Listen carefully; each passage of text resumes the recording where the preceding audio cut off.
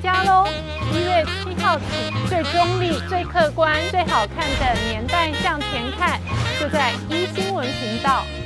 周一到周五晚上八点，林官和你一起年代向前看。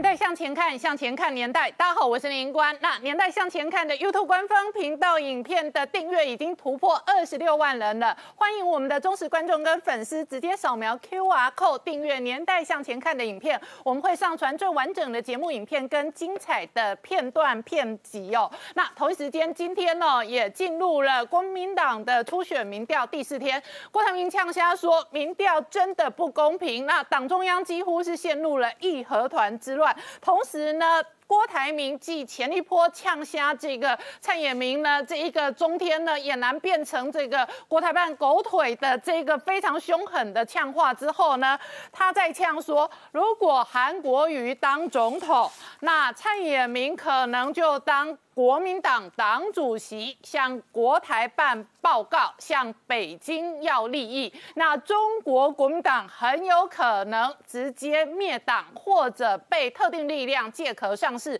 基本上他在对吴敦义喊话。为什么要喊这个话呢？因为他的诉求跟他的立论基础是民调不公，有多不公呢？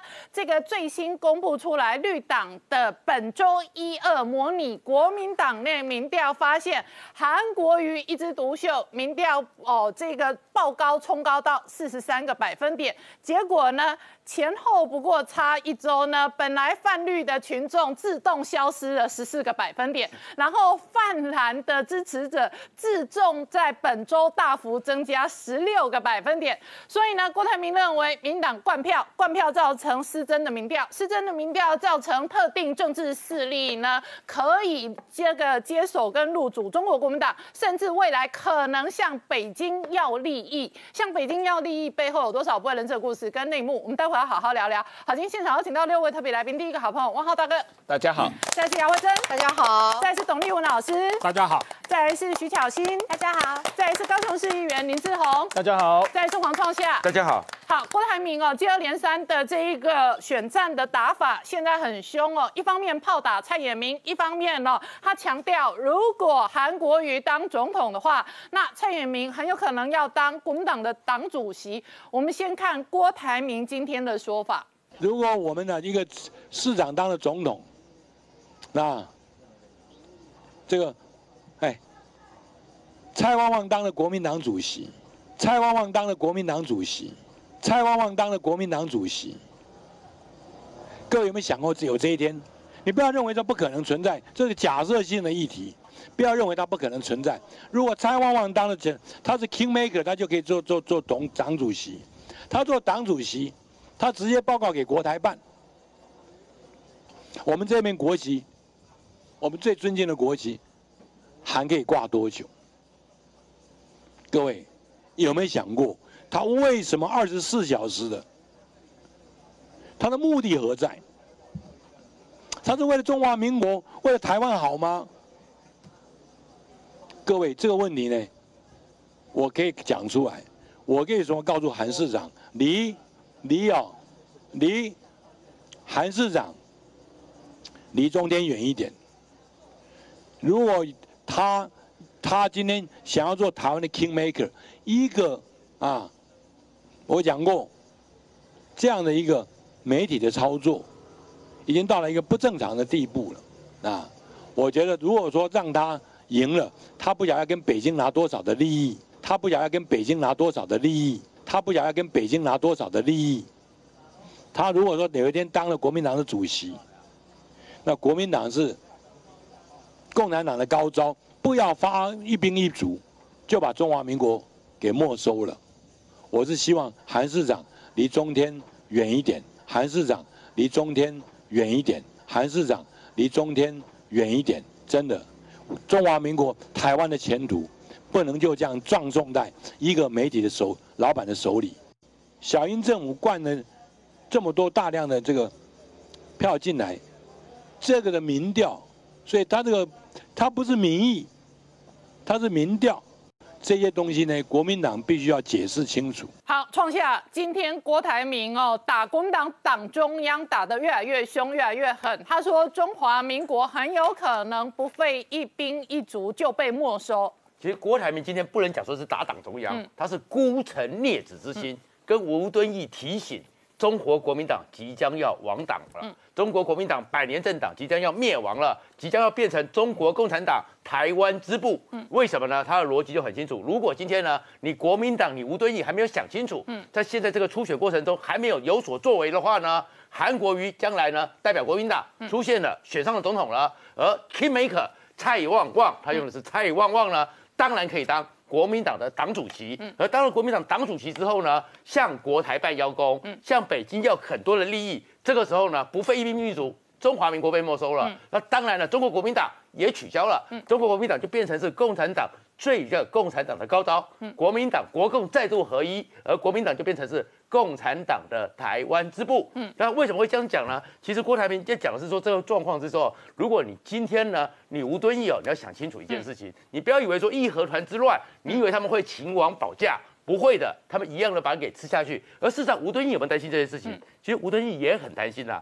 六月初在凯道的时候，当吴敦义看到说过去国民党一直排斥到旁边的黑金地方势力，通通站在他身边，整个要翻的时候，其实吴敦义的中常委。开始提案呢，将来的时候，国民党党章一定要赶快改。在利用七二八的时候，是不是能够改掉党主席？如果当选了总统就是当然党主席，这个党章一定要改掉。不改掉的话呢，你恐怕蔡衍明就跟着韩吴韩国瑜，跟着那些严清标、傅昆奇，通通入主党中央，你们通通要被消灭掉。所以他现在就赶快跟吴敦义喊话，说你呢即将会被灭亡了。你不要以为你坐在那边，而且还要提醒一下是。告诉吴敦义说：“你本来要选总统的，你为什么不能选呢？还不是蔡旺旺用社论说你是历史罪人，连续三篇逼你出来说你不选了。你以为你当主席留得下来吗？继续这个群会之下，蔡旺旺跟着韩国瑜接掌了国民党，你吴敦义就一定会被消灭了。所以他的最后的喊话就是告诉吴敦义说：还剩七天，三天，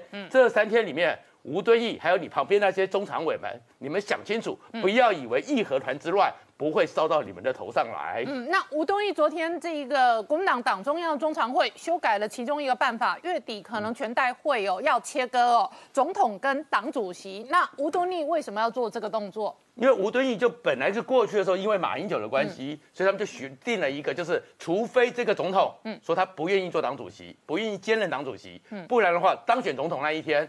总统就是当然的党主席，所以那吴敦义就已经很害怕了。那如果说是一个国民党都是一个正常的人，或是这个总统了参选的人，像郭台铭讲过啊，郭台铭其实告诉吴敦义说：“我跟你讲过，我对党务没兴趣。”那这个总统可是可以放弃的。可是如果说看到今天韩国瑜还有在他旁边的人，然后蔡衍明后面那么这么积极，他是不会放弃的。所以吴敦义必须要先立下个防火墙，不然的话，韩国瑜出现了，出现之后，国民党的整个党机器。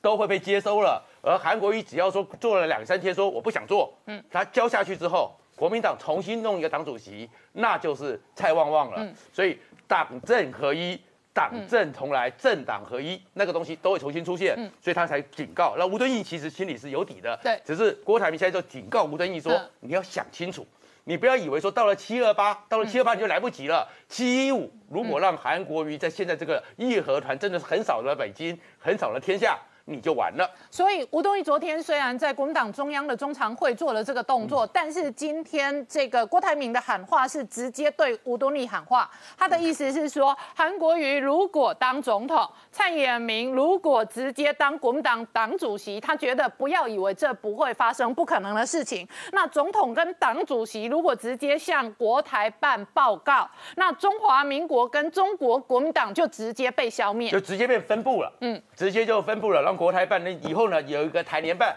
会出现。所以他是做这样一个警告给吴敦义。那当然，所以郭台铭做这个警告。那郭台铭这个警告的意思就是说，这个命运，中国国民党可能变成中国共产党在台支部。对，台湾支部就台共分部。嗯。所以这个时候就台湾分部，台湾分部嘛，就是有这个警告在。那当然，在做这个警告里面，他其实是两个目的。第一个目的是说，还剩四天，你吴敦义该有所作为，你国民党的党员该有所作为。那作为就是说，不要让那个人得逞。嗯。就是他去那个当天去拿到荣誉状的时候，那张字条里面的，不要让。让一个人得逞，不断提醒。第二个呢，他在铺陈了，铺陈什么呢？就是他全面的铺陈说，因为我郭台铭才是最爱党的人，如果党以不党的时候。他就要学一九二六年的蒋介石一样，奋起自立。哦。哦，蒋介石当年在临汉的时候，那时候的正常的国民党、法统的国民党是在武汉的汪精卫，嗯，可是跟共产党勾勾搭搭，跟毛泽东勾勾搭搭，所以蒋介石奋而自立，党以不党，所以开始在江宁自立，嗯，所以他也要做这件事情，而且他在铺陈了。嗯，第一个呢。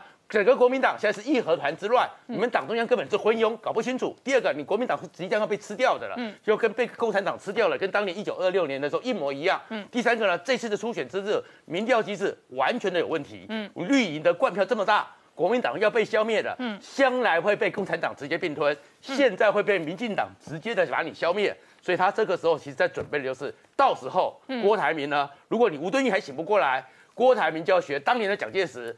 清党要直接的自立起来了。好，所以郭台铭今天的指控很凶。他说，如果我们的市长当了总统，蔡旺旺当了国民党党主席，各位有没有想过有没有这一天？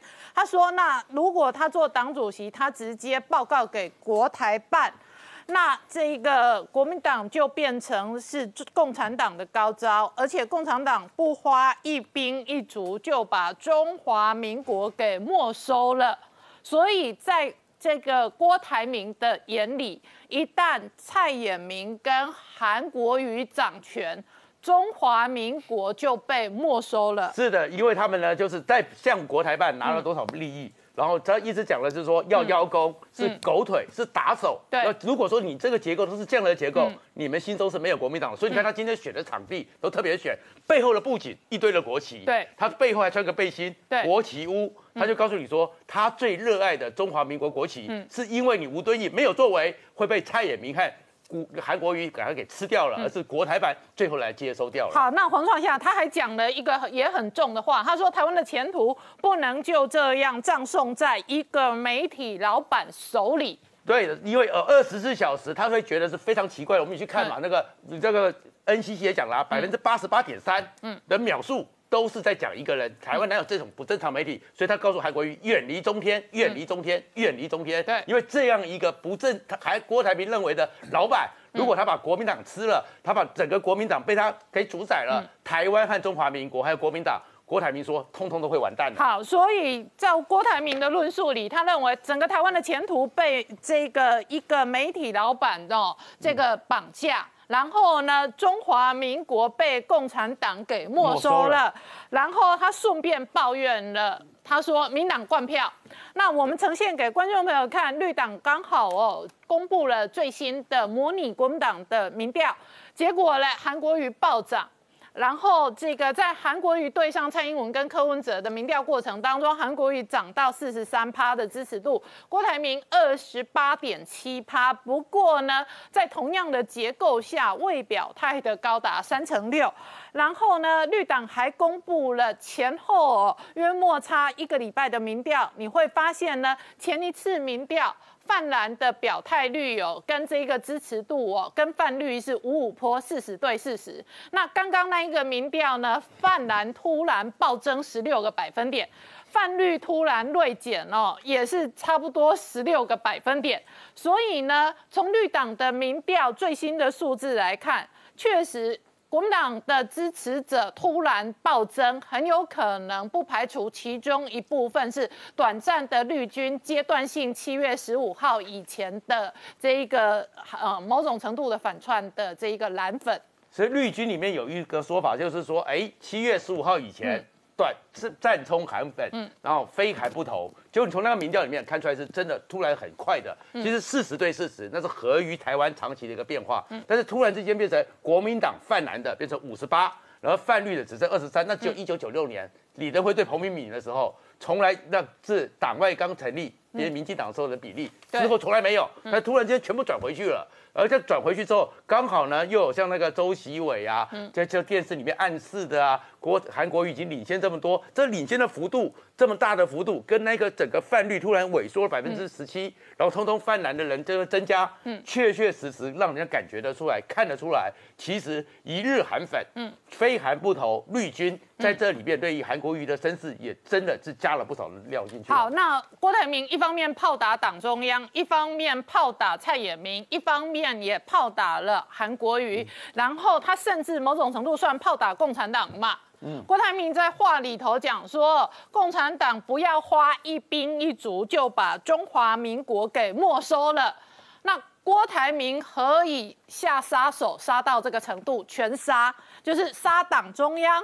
杀蔡衍明。哦，这个已经不知道泡了多少遍了。我们本节目 待会还会汇整给大家看郭台铭的原始说法，然后郭台铭顺便再泡共产党，他认为共产党就可以不用花一兵一卒把中华民国给吃了，因为他这个时候发现说，如果说他没有把自己拉到了这个最极端，拉到这个状况之下，未来这四天，嗯，他要让很多人觉得说，我也要学韩粉一样，在家里围炉，在家里守夜。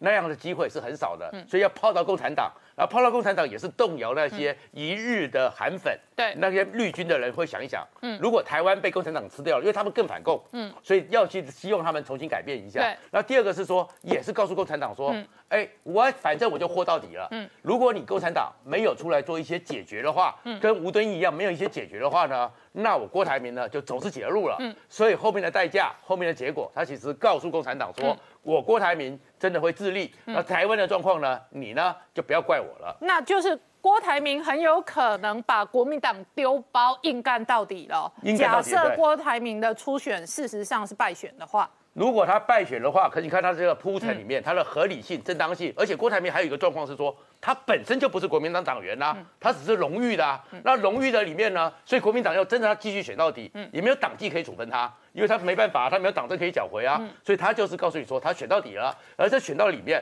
他跟蔡衍明的恩怨，他绝对不会了。他绝对不会放，所以就是说，如果国民党不处理蔡衍明，如果国民党继续让韩国瑜依附着蔡衍明，他绝对干到底了。好，我们稍后立刻回来。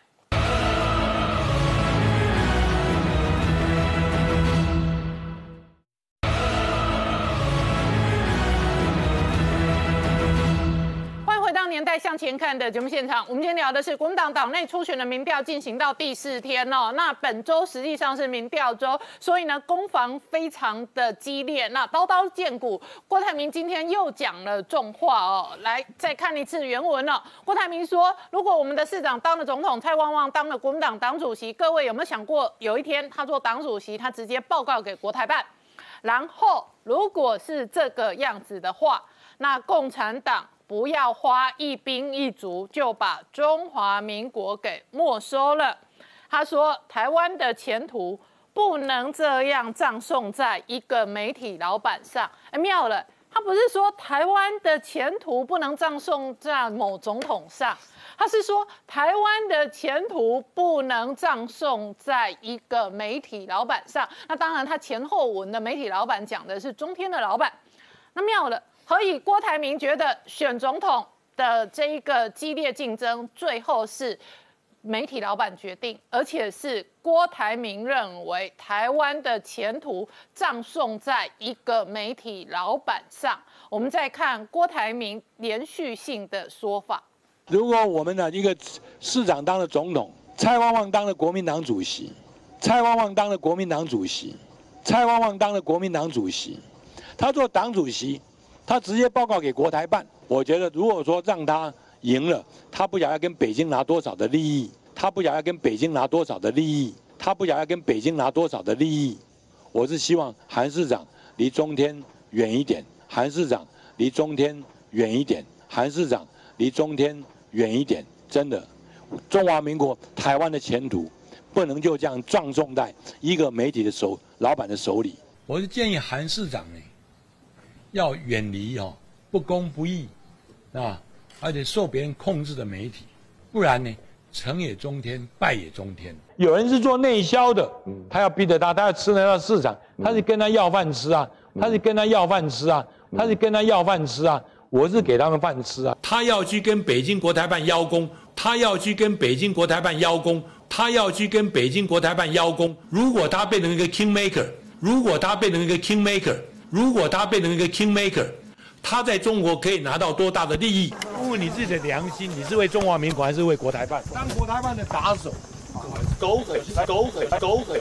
好，慧珍郭台铭哦，一开始的战略哦，好像还这一个搞不清楚选战的主轴，后来发现郭台铭开始打呃蔡衍明，然后呢这两天打到国民党党中央，他认为民调不不公，而且他认为民调失真，失真的民调最后会造成失真的结果，然后今天更凶，他今天的说法是说，如果韩国瑜当总统。那蔡衍明当党主席，就可能直接报告给国台办。那。中华民国呢，事实上呢，就变成共产党的高招，因为不要花一兵一卒就把中华民国给没收了。我觉得他这个礼拜的打法非常精准，而且显然有高人在传授。我在怀疑是不是金小刀出手的。为什么我这样说？你知道他这个整个声明，我可以把它分成三个层次，它是对三个三种不同族群在讲。第一个，他是讲给。那个吴敦义听，他是告诫吴敦义，你不要以为你是公卿，你是事主，而且你以后即将变成苦主。什么意思？你现在一副党主席的样子，哦，好像我们不同的候选人自己去内部去竞争，去杀来杀去。但是你现在一旦要通过这个你刚提到的删除总统兼任主党主席的这个规定，还有另外一个，他新增党主席指定五席县市长为中常委。你这这两个案子同时一起推过，代表什么意思？是要让削削减原本是总统的一个职权。他们认为说吴敦义他从头到尾都要通过这个法案，变成是吴敦义条款。即使未来总统是你韩国瑜，是你那个郭台铭，但最终的最后的一个。整个党的领挥者是我吴敦义，嗯，他的用意是这样，但是那个郭台铭提出这个意思是告诉他说，你不要以为当一旦韩国瑜当选了，你还可以控制得了。一旦韩国瑜当选的，国民党其实是变成国语党，嗯，而谁是这个 king 的 maker，其实就是蔡衍明。嗯，第二个他要讲的一件事情是告诫所有的浅浅绿的跟中间选民说，只有我郭台铭。敢这样挑战中共，只有我郭台铭是可以跟中共是可以捍卫中华民国的，是只有我郭台铭跟那个那个韩国瑜不一样，他其实没有直接骂韩国瑜，他骂的是那个蔡那个蔡衍明。第三个，他是向所有人告诉大家说，我才是中华民国的正统。嗯，为什么我这样讲？因为我他曾经讲过，我是给中国饭吃的。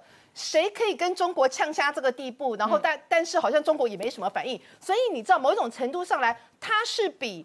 韩国瑜更绿，嗯，那现在就变成他瓜分了绿的盘，因为我们认为说，哦，感觉上可以抗衡中华呃中国的只有那个蔡英文，现在他没有哦，他说的话一句一句都比蔡英文更凶哦，嗯，他可以说，而且更妙的是哦，他每天把国台办这样子骂，国台办都不反应的，哎，来来来，我来公开挑战，问问国台办。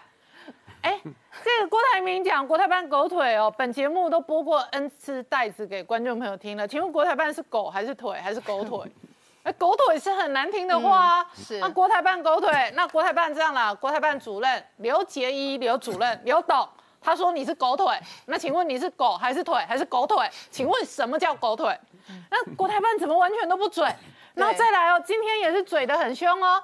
哎，我不知道这个安峰山刘杰一要不要反应，还是这个中国国务院发言人要不要反应？哎，共产党不费一兵一卒就把中华民国给没收了。哎，共产党有没有被抹红、被污蔑？怎么都没有好好澄清？对，就很妙哎，这很奇怪哎，中华民国的政治人物。没有人敢这样子嘴共产党啊！嘴共产党通常都会遭受到各式各样的政治报复啊。那嘴到狗腿，国台办都硬吞。对，国台办硬吞，我也是觉得蛮奇怪的。我觉得他不只是嘴国台办而已，他甚至嘴整个中国跟中共。嗯，他讲的让我个人认为最犀利的一句话是：是我给你中国饭吃，然后蔡衍明是跟中国要饭吃。他把一个中国泱泱大国讲的跟臭要饭似的。嗯，哎。你到目前为止，我看官方没有任何一个人针对这句话出来讲过郭台铭一句话哦。对，这是非常非常不寻常的哦。嗯，蔡英文也不过是不讲一个九二共识，你把蔡英文骂的跟什么一样？我觉得很奇怪哎。到目前为止哦，你记不记得我们讲贸易战的时候，上个礼拜《环球时报》说美国国务卿蓬佩奥是地球乱源，他说是地球乱源，就地球上最乱是蓬佩尔。为什么？因为他们有够乱，每天。造谣生事之事啊！哎，国台办啊，跟中国国家发言人从头到尾不敢嘴川普，川普就说从头到尾都不敢嘴川普，对，但是每天把蓬佩尔当狗骂，当小孩骂，对，那就妙啦。国台办跟中国官方单位到目前为止接受到各式各样羞辱性的名词或动词的时候。目前为止，我们观察只有两个人，他们没有回嘴，嗯，一个是川普，一个是郭台铭，是，而且这是一个很妙的处境。对川普你可以理解，因为川普是老大，感觉上习近平老共天不怕地不怕，就怕川普，那确实也有怕，所以乖乖去 G 团体大阪的这个会议了，确实有怕。对，哎，可是中国老大不是老大吗？到底怕郭台铭什么？我们就会觉得说肯定有鬼嘛，嗯，怎么可能他他怎么可能连《环球时报》总编辑都不骂？对啊，那个怎么可能？刘杰一不骂，安峰山怎么不骂？是安峰山当发言人的，到底你是狗还是腿还是狗腿？对对啊，你都被形容成狗腿了，那你要不要回应一下什么叫狗腿？所以你知道，我就觉得那个郭台铭他今天的整个的一个谈话，其实他是有不同层次，但是每一个层次都有针对他不同的族群去要到他的票。然后这个最厉害的一件事情是，我觉得他跟。呃，吴敦玉讲的这个真的是重点。嗯，他讲到说，哎，那个如果哪一天那个如果韩国瑜当成是那个总统的话，蔡衍明即将是党主席。嗯，这件事情我相信是所有的一个那个国民党，不管是党党工或是任何的人听了都会害怕。呃，我问一下董老师，你怎么观察现在的变化？呃，所以显然的哈，就是说对于郭台铭的讲话已经那么多次了，好，中共都当作没听到。这个时候，我觉得我们就应该反过来想了啊，搞不好这个国台呃郭台铭所讲的话，讲中了中共的心坎里了，嗯，讲的是对的，所以我们看呃今天郭台铭的刚才那段讲话，我觉得第一个郭台铭讲的非常精彩，嗯，果然是跟中共打交道超过三十年的人，嗯，完全知道中共在想什么，这是第一点，嗯，第二点我也不认为这一段话。是在嘴中共，嗯啊，就是说在批评共产党。我也不认为，我觉得他是在称赞共产党啊。嗯，共产党不花一兵一卒就把中华民国给没收了，这个不是最高境界吗？因为共产党要消灭中华民国，共产党要统一台湾，人所皆知嘛。能够做到这样子，我觉得这是称赞国民党，呃，称赞共产党。那我们来模拟，他说各位假设有没有这一天，某市长当总统。那某媒体老板当党主席，好啦，那总统跟党主席如果赢得二零二零的大选，也赢得立法院的选举，那确实是这两个人掌权呐。以及如果这两个人直接向国台办报告，那中国共产党就直接借壳上市成功啊！而且他有两个借壳上市的对象，一个叫做中华民国，一个叫中国国民党。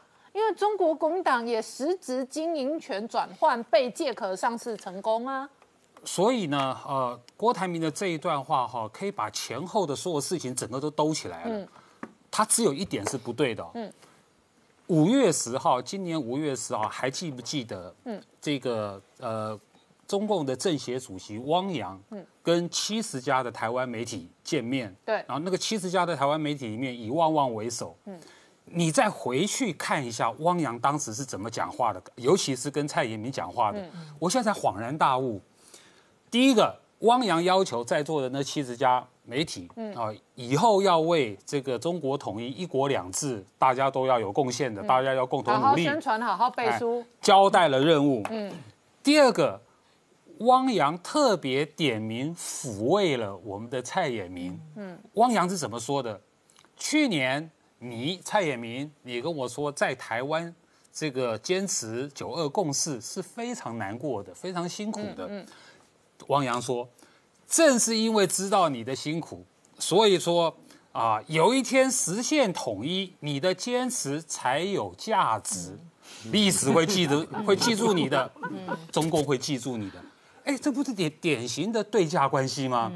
哦，原来中共在找人当代理人。嗯。只要你帮中共实现了这个中国统一，嗯，中共嗯不会忘记你的，所以这个对价关系就摆在那里了。那现在眼看了，哦，原来是用一家媒体，哦，就可以来消灭中华民国。嗯，那呃，有没有可能呢？啊，刚好好，实在很巧。嗯，好像国民党有今天才也放出风声，说下礼拜就要处理，要取消那个总统兼党主席的这个规定嘛。嗯，哎，那这样就兜起来了。那如果说这个规定，国民党这个规定如果把它取消了以后呢？那么未来谁可以来选这个国民党的主席？那就是自由竞争了。嗯，那自由竞争话，你今天郭台铭可以用一个巧妙的手法，嗯，来参选国民党的总统这个初选。那我蔡衍明为什么不能参选国民党的党主席？嗯，哎，我觉得这整个就就通通都兜起来了。董老师，假设是要控盘的话，还不一定要亲自参选党主席。找一个自己的代理人当党主席就好了，或者韩国瑜顺便再兼代理人啊，这个叫副委托喽。是这样的，台湾的大集团，你看过哪个大老板每天挂一堆董事长？那种都是 B 咖，A 咖都是我是荣誉总裁，然后这个银行有 A 人头，那个证券有 B 人头，这个投信有 C 人头。哎，不好意思，初次约谈的时候人头约一约就好。当荣誉总裁才会没事，联电晋华出事，请问曹新成荣誉总裁有出事吗？没有嘛。是的，这个要当荣誉总裁，荣誉，但是荣誉要有实质控盘能力。那中国国民党如果有特定的代理人当党主席，后面有真正的荣誉老大，荣誉主席喽啊！当然，荣誉后面还有更荣誉，因为照郭台铭的说法，后面的更荣誉是这个中国共产党嘛。那前台只是代理人呐，前台只是人头啊，这个不难呐，甚至甚至韩国瑜让他接也不难呐。我相信哈，无论是哪一个剧本，嗯，啊，对郭台铭，呃，不对不起了，现在对蔡衍明来说都很好玩。对你无论是这个荣誉的荣誉或代理的代理，我觉得任何的这个这个脚本都是可以玩的。所以回来，我觉得郭台铭他这个担心的确是有道理的。嗯，你就可以知道为什么中共闷不吭声，在这些事情上，现在中共全部闷不吭声了。嗯，中共的闷不吭声，我们广告之后再回来。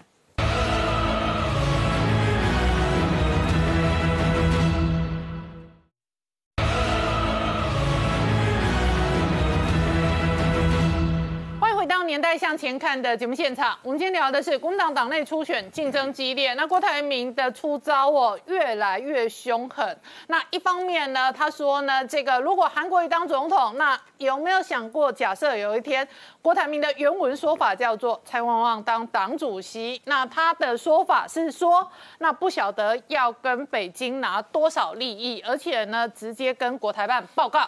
那郭台铭的说法如果对照哦这个两。两个月前曝光的汪洋把台湾一大堆媒体高层，包含特定的媒体老板叫去训话。汪洋还说两年后台湾不知道在哪里。事实上，郭台铭的说法，观众朋友可以模拟想象那个可能发生的情境跟未来。所以郭台铭说，共产党高招，不要花一兵一卒就把中华民国给没收了。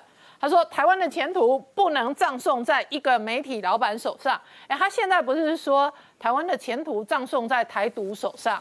那假设是以前的郭台铭，一定是说台湾的前途葬送在政客手上、台独手上。他现在说法是葬送在一个媒体老板手上。那董老师刚刚讲到，中共完全不回嘴，这是一个更奇怪的处境。我们知道国台呃郭台铭他可以直通习近平办公室的，嗯，好习办。那呃这个蔡衍明已经向我们证明了，汪洋亲口说的，蔡衍明是可以直通政协主席、中共中央对台工作领导小组的副组长。哦，汪洋说的是去年你跟我说的这些事情，所以他们两个是有交情的。所以说一个这个郭董直通习办，嗯。一个蔡董直通政协主席，嗯，啊，你国台办在下面左右为难，你干脆闷不吭声算了。我觉得是有这个第二个可能存在了。对，好，所以看起来现在看起来是国台办两个都不想打，那两个不想打有原因嘛？要么两个都是朋友，要么两个都是敌人，要么有的是朋友，有的是敌人。但是敌人大到不敢打，就会发生老共国台办敢嘴川普吗？不敢嘛。老共是看实力的，实力强的敌人他就不嘴。所以很有可能在国台国台办眼里，郭台铭是个相对实力强的，也许是敌人。呃不，呃肯定不是敌人，他只有两个可能。嗯，第一个可能两个都是朋友，嗯，都是国台办的朋友嘛。朋友吵架很难当公。第二个可能，我刚才强调的是站在国台办，两个都惹不起，也不是敌人，他惹不起嘛，就都直通习办，直通这个汪洋的，两个都惹不起嘛。更重要是。等于说这两个人在做的事情呢，就是说哦，原来搞了半天，呃，这一场二零二零年的台湾总统大选哦，被叫做是中华民国的保卫战，这是国民党讲的嘛哈。本来我们以为是说是统独之争，现在看了半天，原来不是。嗯，原来现在在国民党内部看起来已经是极统跟环统之争了。嗯，极统派已经快要赢了，所以说郭台呃郭台铭他才会发出这样的呼吁嘛。所以，而且是代理战争，谁拥有代理权？拥有某些代理权，如果在某些人手上，那某些人可能直接跟国台办报告。那某些人可能还捍卫中华民国，不会直接跟国台办报告。那跟谁报告？跟习办报告吗？郭台铭要改嘴啦，就是不要把蔡董的位阶在中共那边位阶要打到国台办了，那么低，没那么低的啦。现在人家已经升级了，政协主席。我刚一直强调政协主席汪洋在抚慰他嘛，这而且是公开给我们大家看的嘛。这汪洋的说法，他跟这个蔡英明早就认识了，知道他的委屈嘛。嗯，所以说我知，我觉得这个郭台铭呢，呃，不要再把这个蔡旺旺跟国台办绑在一起，要把他升格了啦。嗯，我问一下汪浩大哥怎么看？如果呃。郭董这两天还想继续选下去的话，我个人是建议他今天晚上就应该退选了啊。但是他如果还想继续选下去，还有三天吧，他应该主要做的就是要呼吁弃朱保郭了，嗯嗯因为这是他唯一有可能逆转胜的这个民调逆转胜的可能嘛。因为这个现在他跟韩国瑜的差距，只有把这个。朱立伦的票拿过来，对，才有可能逆转胜。当然了，这个这个要做的工作还是蛮多的。当然，如果可能的话，他如果今天晚上说服这个朱立伦，嗯，能够支持他的话，朱立伦退选，OK 啊，支持他。然后把选票转给他，嗯，那当然也有可能嗯啊。我觉得这两件事情，要么就是郭台铭退选，嗯，要么就是朱立伦退选。因为在我看来，你既然已经把话讲到这个程度了，说整个这个初选制度是不公不义的，整个你现在国民党是被这个旺旺绑架了，嗯啊，你现在这个中华民国在国民党这样搞下去，中华民国就要被灭亡了。而且他昨天早上还呼吁国民党，昨天下午的中常会要采取行动。嗯，结果国民党中常会什么事情没做？有，国民党中常会的行动就是通过方案。啊不，那党主席跟总统可能切割。不，党主席想要保党权。没有，他要的国民党中常会采取行动是说，是对这一次的初选做出干涉。啊，这个。嗯，吴登义讲的那个事情是保住吴登义自己的权利，跟郭台铭没关系的。嗯嗯，对他，而且昨天说要武昌起义嘛，要大家开第一枪嘛。嗯，后来没人开第一枪嘛。嗯，那既然没人开第一枪，他就得自己往前冲啊。嗯，不然的话谁跟着你啊？对啊。所以我觉得，我我觉得我我我要是他的顾问团了，我不知道谁是他的顾问团，我是会建议，要么今天晚上这个这个开第一枪，自己就退退选。啊，要么就是能够说服朱立伦开第一枪，朱立伦退选，啊，把票投给郭台铭，不然的话，他这还有三天，他没办法逆转胜啊，这是第一。第二，他今天有被媒体问到，郭台铭有被媒体问到说，如果你初选输了，你会不会退党参选？他没有说不会啊，他是说，我看这这个星期过了以后再考虑。嗯，那就是说。他留下了，而且人家专门问他是郭科配，嗯，他也没说不可以，他说过了这个星期，嗯，再讨论嘛。那就是说郭科配这个事情绝对是提上议事日程了，嗯，啊，这个昨天我们不是说中央电视台就在讨论这个事情吗？我猜测郭科配跟这个郭科王整合，可能是他的副案。是。我猜测是对，而且中央电视台前天晚上已经在讨论这个事情了嘛嗯啊，那所以如果你从一个比较长期的这个共产党的整个统战战略的角度来讲，他们所有的整个统战目的，我不一直说嘛，打击主要敌人，团结次要敌人吗？那他要打击的最重要的敌人，当然就是蔡英文了。那所以就是一切可能帮他打击蔡英文的力量，他都要团结起来嘛。那现在的当然这些次要敌人内部，郭台铭跟蔡衍明没法团结，嗯，那个没关系，共产党对他们来说，他们可以搞得搞得定吗？关键是要让这三个人。蔡衍明、郭台铭、柯明、柯呃柯柯文哲能够团结起来打蔡蔡英文嘛？从这个角度来讲，我觉得这个共产党还是会有很多工作可以做的，嗯，还是会有很多工作可以做的。最后，郭台铭会不会退党？会不会真的做成这个郭科配？会不会真的郭科王的你说的那个整合哎，整合 B 方案真的拿出来，我觉得他们可能还需要跟北京商量一下了。嗯，但是反推来说嘛，柯可能想，昨天不是那个宋楚瑜要吃颗豆腐吗？对嗯，那柯要什么？柯如果要组织跟要钱的话，王跟郭刚好各自分工，所以哦，我就事论事啊。柯现在叫做一人嘛，孤家寡人嘛，那当然有柯粉嘛，那就是有一人有柯粉，但是没有中间的分工嘛。对啊，人吼家大业大，再能干，你当总统，你挂一个总统嘛，你能兼行政院长吗？你能兼立法院长吗？你能再兼一大堆部会首长吗？不能嘛。对所以你无论如何还是要有合作对象嘛。那合作对象要什么？选举说穿了要选票跟钞票，只有对这两个值钱，其他都不值钱。嘴炮最不值钱，是啊除非嘴炮可以换到选票。对好啦，那王金平有组织，对郭台铭有钱，对哎。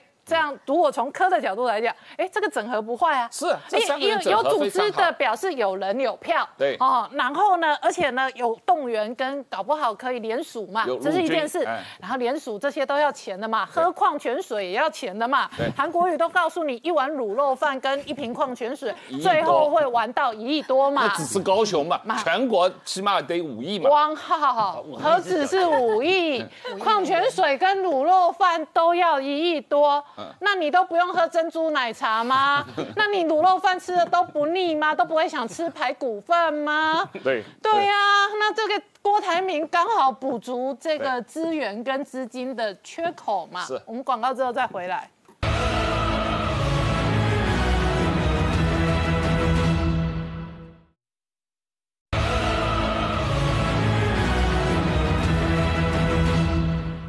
年代向前看的节目现场。我们今天聊的是郭台铭哦，在这个国民党党内初选的过程当中，他认为党中央不公，而且他今天讲了很重的话，他说共产党的高招很有可能不花一兵一卒就把中华民国给没收了，因为他认为这一场初选过后，某市长如果假设当选总统，那某媒体大亨可能就会入主国民党，直接做成实质党主席了。我问一下巧心怎么观察？其实，在好久之前就有在开始传出说，我们在全国党代表大会上面讨论的议程，其中之一就是我们刚刚谈到的，这个党主席呢跟总统是要分开。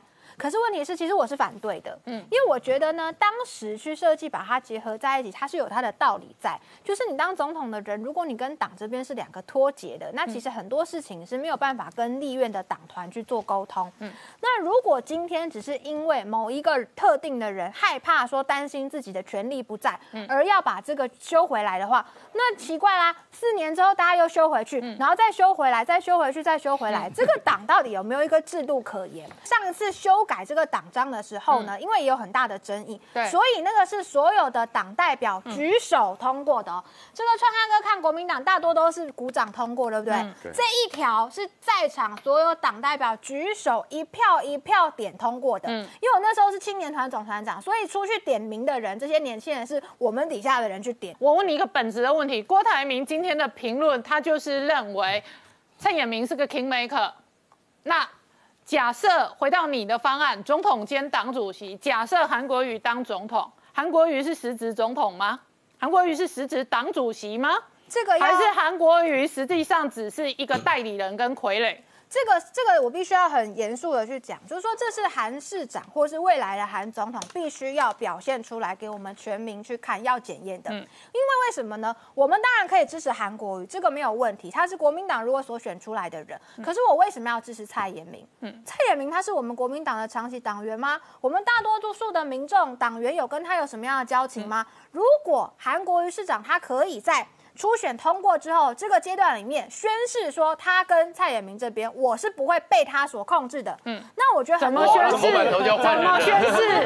怎么投白头就要换宣誓？怎么宣 至？少在至少在很多的议题上面，其实比方说新闻媒体的报道上，你又没有能够去表态说这个某媒体集团他这样子做，他自己也觉得怪怪的。嗯，好，或是很多韩国瑜现在连疯狂都可韩以讲了。粉都无法切割、无法处理了，韩国瑜会去切割中天吗？就我了解韩国瑜，他有办法切割，因为他嗯过去你看王金平帮助过他，他切割王金平；许坤元议长帮助过他，切割许坤元议长等等。所以我觉得，如果韩国瑜真的有 guts，在初选之后把这个关系拉开，那或许是一个重新拥抱中间选民跟年轻人的开始。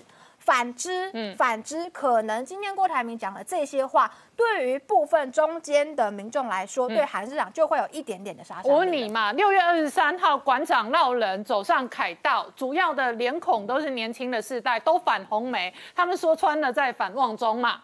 好，本质上郭台铭讲这些话会不会打中那些人？我觉得会，因为其实，而且尤其是蓝营的、浅蓝的这些，就是你家里呢，电视遥控器就是一台，可能很多长辈他都在看某台，可是就是小孩子都觉得说怎么在看那一台，那也就尊重长辈，也都没多说什么。可是那样子的心情，其实一直不断、一直不断的在累积，就他心里他也一样认同中华民国，他支持国民党，但他总是觉得现在这个媒体他这样的状况好像不太符合我们在课堂上所学到的新闻学。那如果呢，某一个国民党所派出的这个总统候选人背后真的好被论证到说，是不是有媒体集团跟他的关系是没有办法切开？嗯，这些所谓的知识蓝、年轻蓝、中间选民浅蓝，他们当然会有一点心情上面的踌躇，这也是很自然的事情。好，我问一下志宏，可是，在高雄正在发动罢韩的运动跟罢韩的战争，所以韩国瑜就算是赢得了初选哦，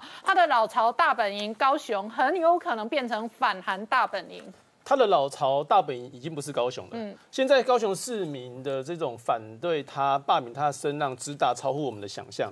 在这个上个礼拜是罢韩的运动开始，民间团体启动之后，来到我们服务处去领联署书，还有开始签联署书来缴联署书的那种动态，其实已经超乎到我们想象。我们甚至有时候已经影印机是印到坏掉，赶快请人来那个维修，纸还印到不够的现象。那现在整个那种全民运动，我我的我昨天我的服务处信箱里面就有一个联署书，上面有一个是未满二十岁的孩子，他写说，虽然我未未满二十岁还不可以这个参与罢免，可是我想要参加联署，占呃尽一些尽一点 我微薄的力量，所以代表是说这是这个全民的运动。那前两天的时候，我有去这个一个便当店吃午餐，那这民这个老板娘她看到我就评论了一堆这个韩国语的一些不好的地方。那他呢讲一个很关键点，说这类人哈都是贪心呐、贪心才会造成这样的结果。那为什么贪心呢？就是觉得说，啊你可能之前议会的问政他回答不出来，或者不认真市政都都其次，他一下子当了几个月市长要选总统，这个贪心的举动造成人家罢罢韩的很大的这个声浪。另外呢，就是前两天我有去基层跟一些长辈在泡茶聊天，那有一个长辈，他就是当时是挺韩国语，他都号召大家投给国民党，嗯，所以他现在呢变成大家同同台之间、朋友之间在讪笑跟谩骂的对象，说你看你们韩国语搞成这个样子，他当场求饶说哈，不要再讲我们韩国语好不好？我已经。签罢免林署书了，这样，所以变成是有一种，现在签罢免联署书是一种赎罪的心态和赎罪的运动，所以现在高雄哈有慢慢兴起一个风潮和运动，就是说有韩不吃，好有韩不买，有韩拒搭，所以看到那个机场的计程车旁边有贴一个韩国语什么什么庶民选总统的，就是高雄市民说我不搭第一台，我要搭第二台，开始有掀起这样的风潮，你认可能会是为罢。韩的运动会影响到他的整个未来选战的攻防跟声势？一定是，所以如果韩国瑜他真正想要选总统的话，其实他最好宣布请辞的时间点，就是在总统初选过的那一刻起，他直接宣布请辞高雄市长、才有可能啊。那其实反过来看郭台铭，嗯，郭台铭他这两天的这样的呃举动，其实也凸显出他是一个呃正在落败者的姿态。嗯，他开始去攻击国民党党中央，攻击义和团，就是韩粉们。其实郭台铭他这种商业巨子、商业霸主这种、这种人，他怎么可以忍受自己输呢？嗯，所以他已经认为，他现在他现在对国民党喊话嘛，希希望说国民党去用这个权力的结构去影响这个初选结果。嗯，看起来如果真的不行的话，我认为郭台铭总裁应该有风骨一点。嗯，在初选进行到一半的时候，直接宣布退出初选，参选到底。嗯，开始要进行合纵连横，不管跟柯文哲啦、跟王金平啦等等。